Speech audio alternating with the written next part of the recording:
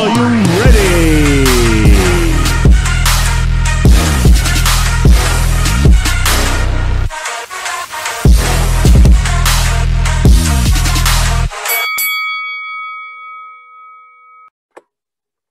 Welcome to JG's Fight Talk, uh, sponsored by Riches Boxing and Limitless Creations. And with me now, Sam O'Maison. How you doing, Sam? Yeah, I'm sound, thank you. Very well. What about you? Yeah, all good, thanks, mate. Busy as always. Good, good. How, how's how's things then? How's things generally? Family all right? Yeah, good, all good. Um, all good. Back in, well, been my last start, uh, September, uh, defended against uh, Kay Prosper um, on my second defence at English. Uh, and then um, I had the first one. Uh, so the first one went down uh, in his own back in his own backyard in London in uh, York Hall. Fought him in there, uh, and, he, and we had an interview before the fight, and he said to me that uh, every time my, chin, my chin's been tested by a puncher, so he obviously consider himself as a puncher, is like he, he been tested and you failed and getting it up big, and then he got under my skin. To be honest with you, so um, I went away training, did the camp, finished the camp, made the weight.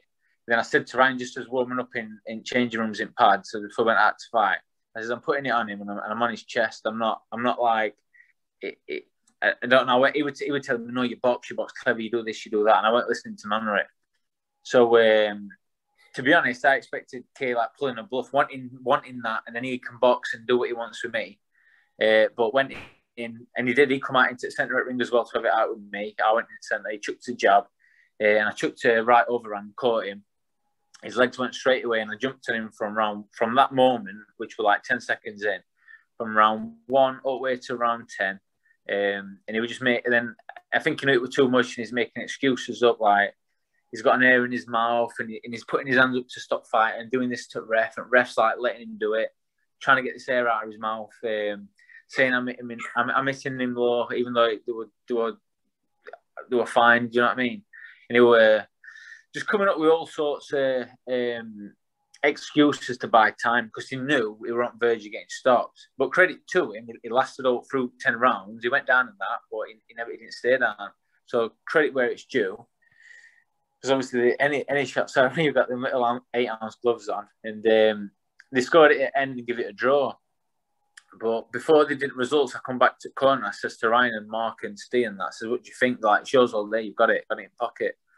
Um, so then obviously they scored it a draw. So then we wonder what we're going to come next if we're going to get because after that it was shot at Philip Bowes for the British and Commonwealth title, but they didn't. Discuss, uh, the boxing board said let's do it again, another rematch, um, X, Y, and Z.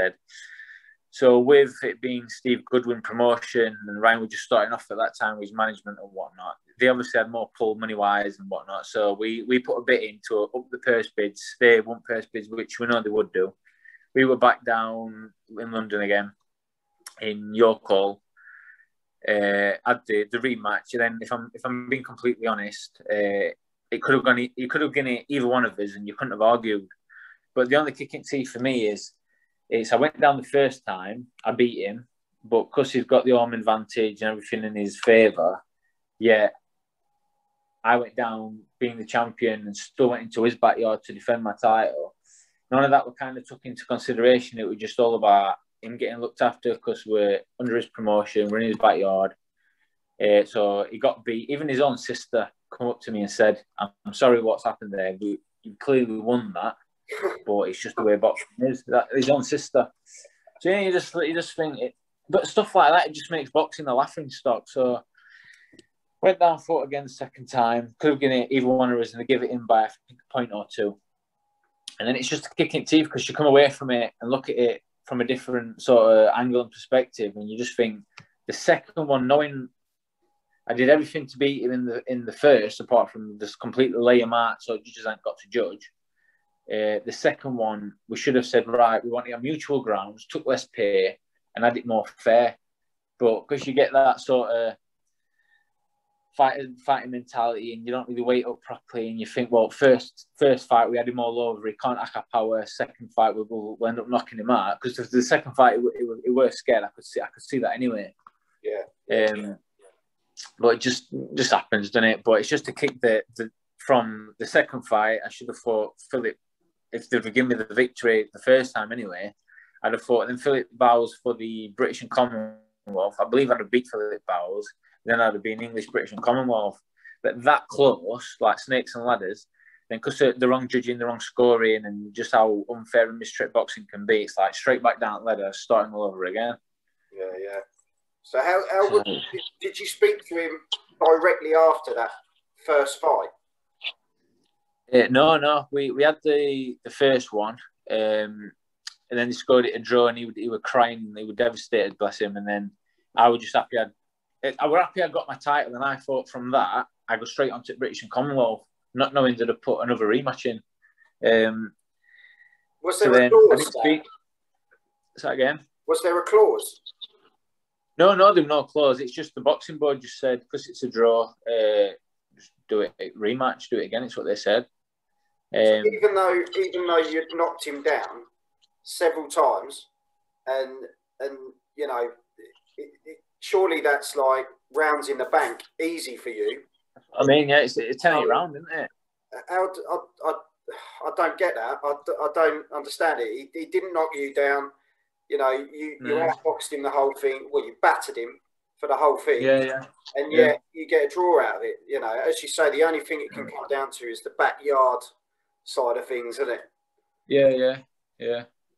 And it's like, what, what if what you're supposed to do? You've, you've either got to lay them out flat so they can't get back up, and then you've you've obviously and beat the they don't get up in the ten count and you win, and don't leave it to judges. But yeah, if if it's a fight that lasts however many rounds it is, and it comes down to the judges scoring, then it's what do you do? You know, it's up to them, and then if they're gonna, just one of them things. So how how do you think they should deal with that then, Sam? Do you think like we were obviously talking before we came on, like in regards to the judges. Do you think yeah. you go before a panel and say, look, you know, this was your card. you know, tell us how you got these, how you got this scoring because you know you got two other yes, judges that scored it that's the, Yeah, that's the thing with, with boxing. It's like I, I, I train my ass off and I'll work. I work mon- Monday to Friday to Sunday, I'll be training twice a day, Monday to Friday, once on a Saturday. I train once on a Sunday, but it's just like a steady recovery one.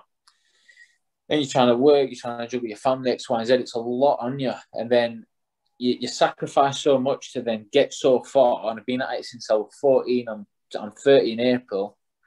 So a long time. And then you get so close, they've not seen the amount of heartache eh, you've had through all them years grafting your ass off to then just score it wrong and favour other kid because you're down in his hometown or whatever they have going through the red or whatever. And then it's like I got to a point in, after that fight, and I thought, well, what do I do? I've, I've got to a point where I should have been fighting for Commonwealth and British. I've got it all stripped away from me. Do I hang my gloves up and just do some like just carry on working and just do what you do, or what do you do? You've got to make make a decision. And then, to be honest with you, I, I, I tried doing that, and I tried having some time out.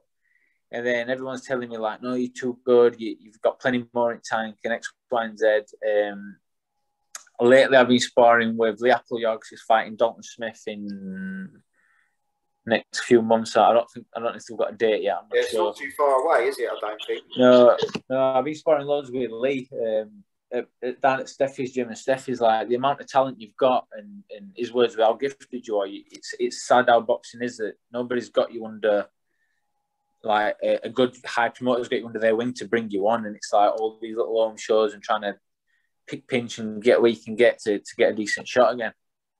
And none, I don't think none of the judges take any of that into consideration. They just sit there, God knows what they watch, and just pick numbers. I think out of thin air and score a fight. It's crackers. I think, the problem is at the moment as well with with with the lockdown situation. It's almost like I don't know if you feel the same, but when you're watching it, like say, I don't know, it could be Matchroom, BT, whoever, couldn't it? Um, yeah. But it seems to be the same five or six people being rotated the whole time. yeah, There's there's no Yeah. one else getting a look in at the moment, and you think you know there's other Yeah. that've got mouths to feed. There's other people that have Yeah. got stuff to get you know to to get done in life. They've got bills to pay, and yet there seems to be the same Yeah. six guys that are getting Yeah. older and older who Yeah. are doing all the judging. It's, it's yeah. I, I, I it, it is. I think they should be. Yeah, they should have testing. Like, and it sounds daft, but like fitness tests. They should. They should be to a certain caliber to know to have the understanding of the fitness and the amount of stuff we've got to go through to sit there and, and be more healthy and alert and on it. Which you see, I'm not being disrespectful to them, but you see some of them they're like off to sleep outside the ring trying to judge. Uh, think uh, what's it fights. And then you just see it and just think crackers. Well, there was one not long ago, wasn't there, who got caught on his phone, Yeah, mate, Terry O'Connor. and you and you think, think yeah, and you think, yeah, why has he even got his phone? It's like it's like Yeah. sitting an exam, isn't it? Surely, like Yeah, you're meant to be like staring at what's in front of you, you it like what? Yeah, yeah, mate. It's it's, No, it's it's such a strange. It's a strange old game, isn't it? It's it's the best. It's the best yeah, sport in the world, but there's so Yeah. much in it in there that's just yeah, yeah, yeah. so It is, difficult to watch. I, I think judges of that just need to be more aware and alert that it, it's not just. I think they must see if, especially if someone's not boxed before, and just think, oh, it's just, it's just something kid does on side, or you know whatever, or, or unless like they're they're really good and they're getting played plenty, plenty to that they can live off. Yeah. But when you've got lads like myself and, other- and like the Appleyard and other lads, and, and the the working, the training, the juggling, the family, the, the sacrificing loads for that one particular fight, and then you've got, like you said, you just sat there looking at the phones and just can't be arsed. They're just there to get paid. It's like something needs, something does need to change. It's like that second fight with Kay. I did all I could through social media, Twitter, like ring it boxing board, doing everything you know, to try and get it put right. And none of them want to know. It's like it is what it is. That's the result, and there you are. yeah, yeah. So, So what's next for you then, Sam? What what's what are you when are you hoping to get back out there again? Uh, possibly. Um, I can't say too much. Twentieth of May on Channel Five. Uh, Okay. but uh, but it's all ifs and buts at the minute. Is that the Eggington So- card? I'm not sure. I only got told um, Friday. All right. No, not Friday. There we are. Friday. I've got no, no. Uh, Wednesday. Sorry, Wednesday. Got changed. I've got a feeling. Sam Eggington's on there. Is it? I don't. I don't know. To be fair, they, just said um, it Wednesday um, on Channel Five X. I can't. Even, I couldn't even tell you the kid's name if I wanted to because I forgot. Uh, I was just like, yeah, get me on. You know what I mean? Just get me in a ring. Yeah, yeah. So I'm just um, back on like watching my food a little bit. Because weight's not too high, and then it's just a case that I- I've been ticking over and keeping on it, you know, keeping boiling over just in case they get a phone call. Because you know how it's going to work. They're gonna they're gonna ring up and give you two or three weeks notice to to ben- their their lad will have been in a say ten week and they've done I don't know six, and they'll ring you up after they've done the six week camp and say, oh, do you want it X, Y, and Z? Um, you've got four weeks. And then it's a case of getting ready in four weeks. But if you're boiling over beforehand and like helping like the Appleyard and lads like that out, then you're ready to go. And then before the Appleyard, I was helping um, Robbie Davies Jr. I was sparring him was down at Ingle Gym. Uh, but that's he was fight the he fought that Mexican, but before that he was fighting. he were going to fight the guy who Kay Prosper's fighting, uh, but for whatever reason that didn't happen. Then he moved on and fought that Mexican. Yeah, tough fight that was. Yeah, good, good. I was jumping off. It's like he's a nice lad, Robbie, and I were, I were going down and seeing him regular sparring with him and whatnot. And uh, he's a good lad, and he's he's, a, he's one of them men's all about his family and his little girl and that. And uh, I Yeah. was jumping all up, he's screaming at TV, but it's just boxing, and it's just it's an artless game. Yeah, he. I have to say, if if you didn't really know Robbie going into that fight, you damn sure knew him afterwards because he put his heart on his Yeah, sleeve, yeah. didn't he? Oh yeah, And he Yeah, grafted so hard in that fight, and uh, yeah, he did. Sure, good I art. was gutted for him, really gutted. But he'll come again. Yeah, I would. Yeah. Yeah. Well, I messaged him after and I says like head up X, Y, and Z, and he's like, "Oh mate, um, it is what it is. I'll be back on it soon.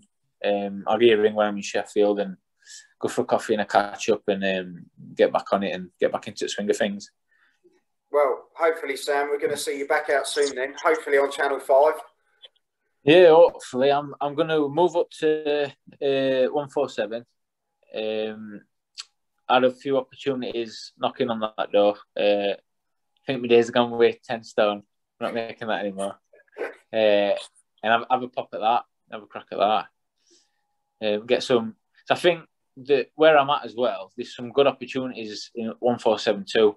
Um, and I'm at a stage now. I know I'm, I'm not the oldest in boxing, but I'm not the youngest. I'm at 30, so it's like, oh, I, am confident in my ability. So all that comes, I'm just gonna. So long as it's everything's obviously the, the price, the where it's at, I'm not going to be a daft like I were an eagle as I were before with Kay. Um, I'll I'll tally it all up, make the right decision, and, and go for it. So what's what's um, one four seven in stone? Uh, ten stone seven. Oh bloody hell! I can't get down to that now, mate. yeah, well, I did. I did. Uh, I would, I've been doing ten stone since amateur days, uh, and it, I can, and it's a struggle, a big struggle. So we've had a, a body analyst guy come out, and he's he's done all my stuff, and he said he, he even though I'm, he said I must be really hydrated, dehydrated when I've been making ten stone. So his advisors and shown us a few things and said you need to move up.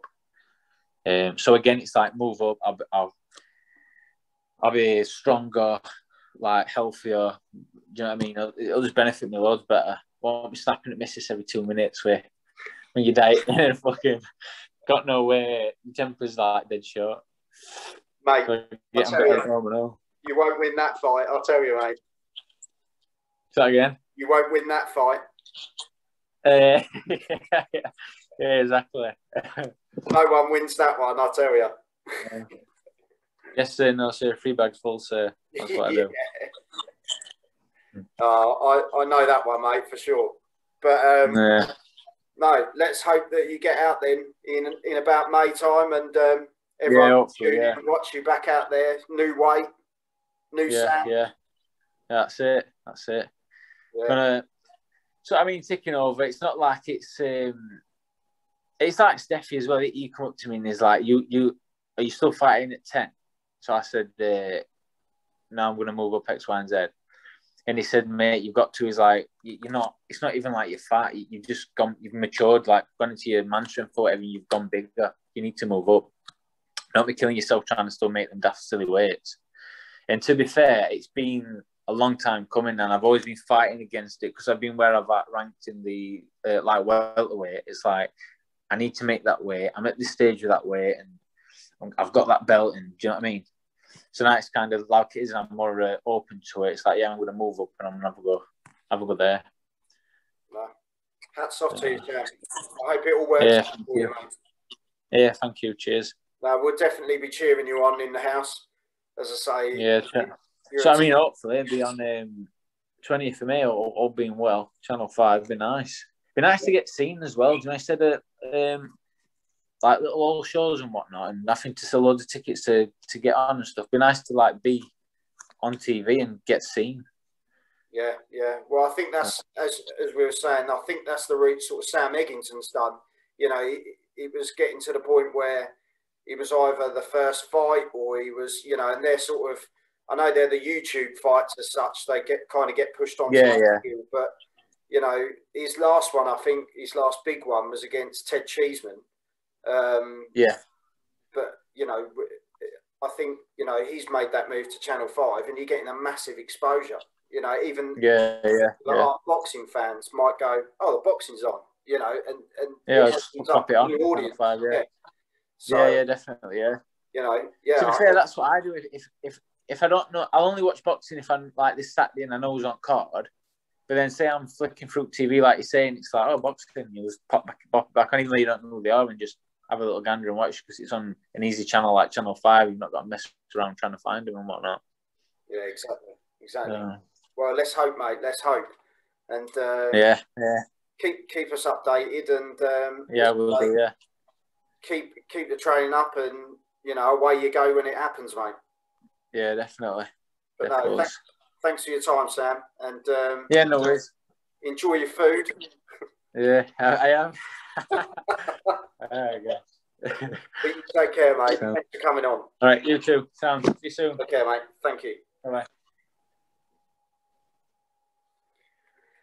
Sam O'Maison. Um, he's loving the fact he's moved up a weight. He can eat more food and enjoy himself a bit more, and uh, not be so uh, aggy with his wife. And um, yeah, I wish him all the best. I hope he gets. I hope he gets that fight on the Channel Five card in May.